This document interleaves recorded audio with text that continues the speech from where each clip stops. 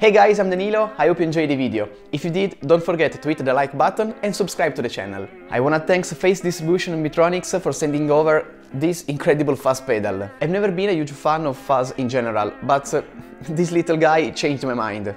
This is the Octahive, a super high gain fuzz with a high pitch octave that can be turned on and off by the side toggle switch giving you a huge tonal range. It's great to turn it on for high gain leads, for example, and if you turn down the honey, you can get that purple hazish tone. At the opposite, if you use it with a low gain setting, it can produce a ring modulator overtones. You can always turn the octave off, and it's a whole different pedal, producing a warm and thicker fuzz tone, more suitable for playing chords, for example.